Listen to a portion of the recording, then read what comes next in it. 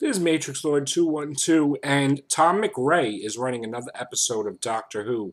Uh, he's responsible for Age of Steel, Rise of the Cybermen, as well as The Girl Who Waited.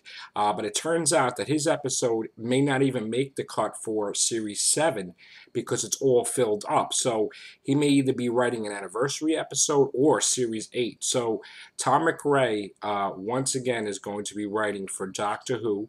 Uh, and also, uh, we got some, uh, you know, pictures today for uh, the Power of Three.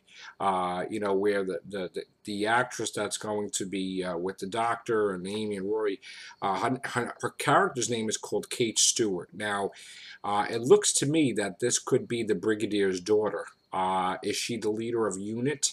We're not sure. Uh, but uh, you know, it is there is going to be a scene at the end where uh, you know the doctor is talking to Amy about uh, you know her probably not continuing soon. So uh, it's going to lead into uh, Angels Take Manhattan, which I can't I can't wait for Angels Take Manhattan. I think that's going to be the crowning achievement of Steven Moffat, and I'm I'm just excited uh, to see it. So uh, it really stinks that we only got five episodes uh, for Series 7 in 2012 because it's basically almost gone. We got A Town Called Mercy that comes out on Saturday, uh, and then two more episodes, and then the Christmas special. So, uh, once again, I can't wait uh, to see Tom MacRae writing another episode of Doctor Who.